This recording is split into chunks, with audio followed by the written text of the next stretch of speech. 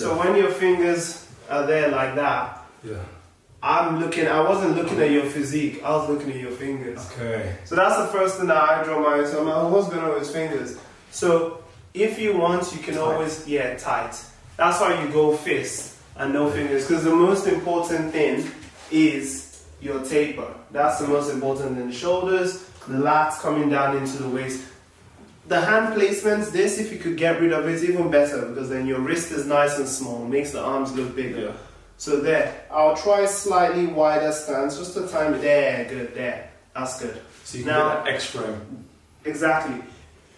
The legs don't matter in men's physique, but it, it changes how small the waist looks. So a lot of the time, say, yeah, yeah, men's physique is not about the legs. So which would you is say like you don't want to put the knees forward and legs out there, and Okay. outer quads. so you can see the outer quad The outer when you hit that. And then when you hit that pose, it makes the waist exactly. Now a lot of people say I see a lot of the pros they Mm. they don't have their arms like that. No. They have their Yeah. arms slightly relaxed and, And like that. you also did two things different. You have fist pointing, Mm-hmm. versus thin point. The thinnest point on your hand. There. To do, the hands rest on the hip, but all you want to engage brachialis